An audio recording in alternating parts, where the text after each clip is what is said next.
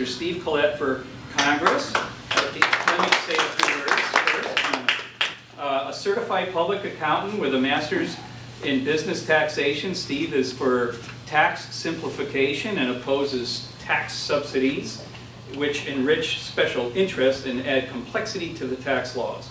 Low tax rates to encourage economic growth and restrain government spending. Mr. Steve Collett.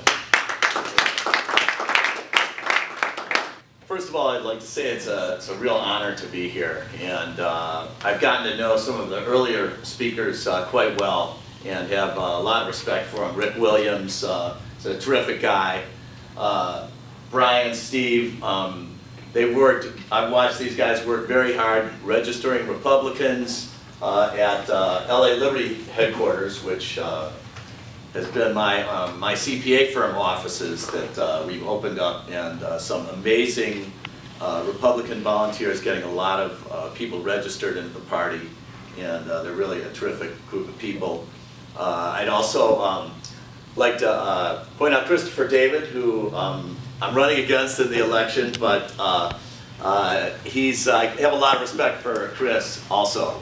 And Love you too, man. People ask, how does a CPA become a, uh, you know, run for political office? Why, why did I do that?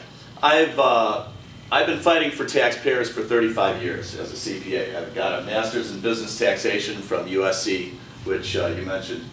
I got that in 1981.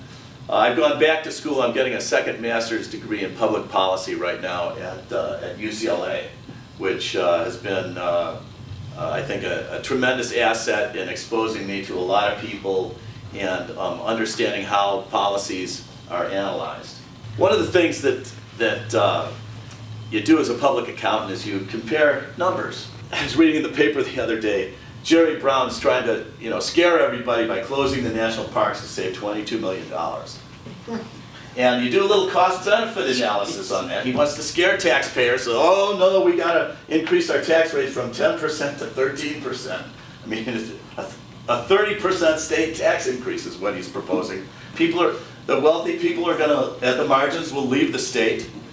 Uh, so that certainly isn't the solution, but Jerry Brown wants to frighten people. Well, do some calculations. We have 65 million people visit our state parks every year.